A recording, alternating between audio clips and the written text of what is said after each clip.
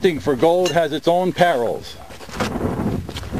Even with a four-wheel drive vehicle, this can happen to you. So you should be prepared for all contingencies.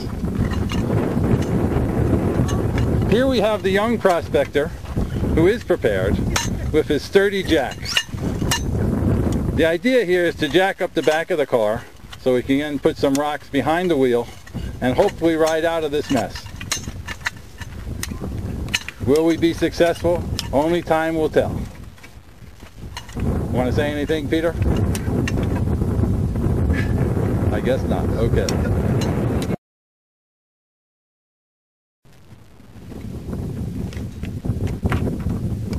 Alright, working on the front tires now. The back tire, looks like we're all set there. A lot of rocks under there.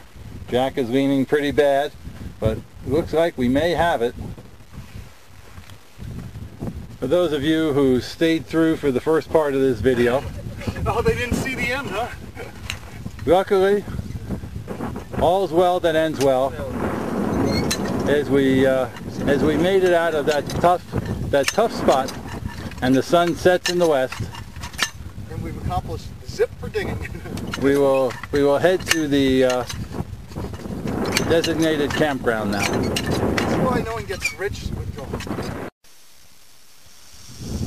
If getting stuck wasn't enough, here you can hear the actual sound of a rattlesnake that we just ran into. Somewhere right in front of us in these rocks. We're going to send Peter in there to find the exact location, so stay tuned for part two.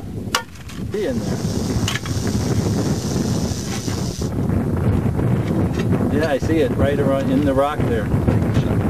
Yeah, it's hard to see here though. Let me zoom in. Wait a minute.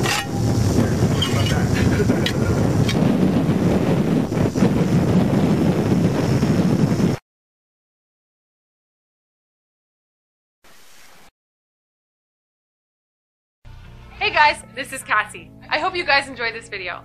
Tell us in the comments below what you found to be the most interesting and why. Also, if you haven't done so yet, make sure to hit the bell notification next to the subscribe button to stay up to date with all of our latest videos.